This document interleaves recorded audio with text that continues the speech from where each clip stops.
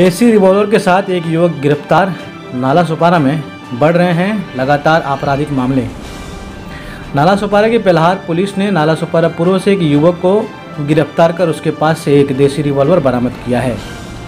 वह हथियार किस लिए लाया था, पुलिस इसकी जाँच कर रही है। नाला सुपारा की पेल्हार, पुलिस को खबर मिली कि नाला सुपारा पूर्व संतोष भवन में एक युवक देसी रिवॉल्वर लेकर घूम रहा है।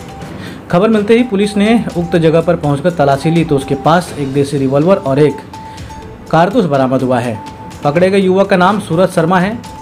वह हथियार किस लिए लाया था, पुलिस अब इसकी जाँच कर रही है।